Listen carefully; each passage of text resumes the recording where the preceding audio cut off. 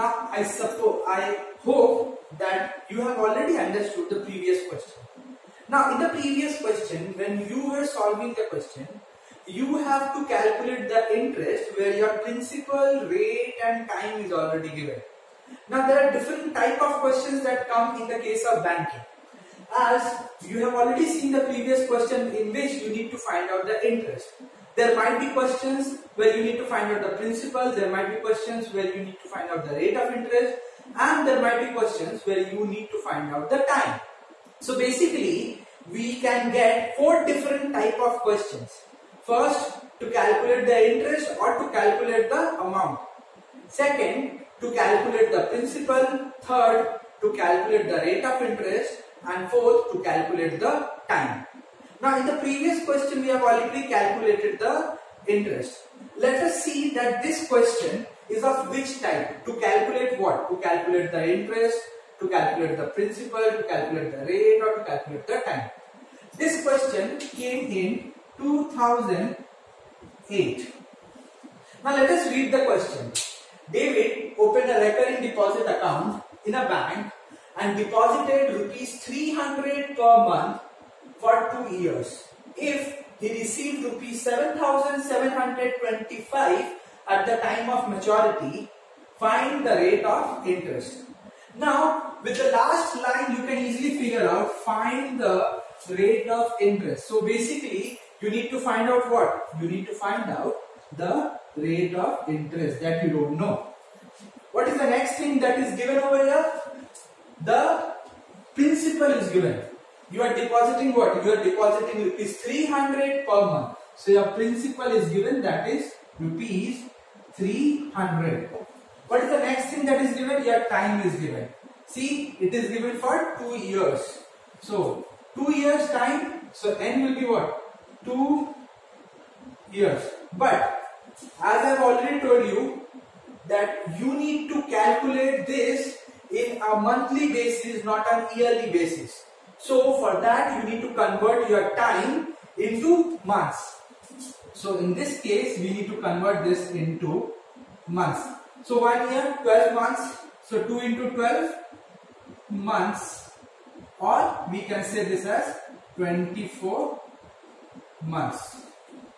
Next thing is the total amount received. See it is written if he received this much at the time of maturity now at the time of maturity, the person is receiving only the amount. Don't get confused with this as interest. At the time of maturity, the person gets the amount. The person doesn't get the interest over there. Yes, interest is calculated, but the person is getting, getting what? Person is getting the amount.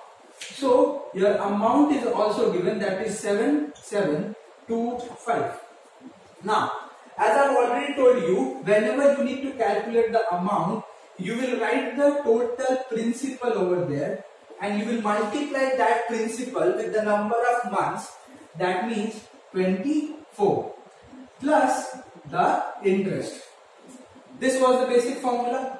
Now you already know the amount and the amount is what? 7725. Let us calculate this value 24 into 3 will give you 72.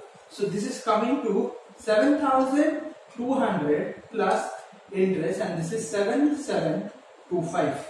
So if we take this value on the other side, we can easily calculate interest as 7725 minus 7200 which will give you 525 rupees. This is your interest. Now, after getting the interest, you can easily apply the formula that you have just understood. That is, interest is equals to principal into rate. That you don't know, let that be R into n n plus 1 divided by 100 into 12 into 2. Now, this zeros will be cancelled then 24 and 12 we can cancel we will get 2 and this will cancel we know the interest that is 525 that is equals to 3 into r because 3 is left over here, r is left over here, 24 plus 1 will give you 25. So from this, if you want to calculate the rate of interest, it will be what? 525 divided by 3 into 25. Now, this you can cancel. How many times? You can easily calculate also. This is 25, hmm, sorry, 2, 1. This is 21 and this is 7. So your rate of interest is 7%. This is your answer. I hope you understood this question and I hope you understood what you need to find out. We have already discussed two different type of methods. In first, we have already calculated interest. In the second method, we have calculated the rate of interest. Let us do two more questions where we can understand that how to calculate the principal and how to calculate the number of months.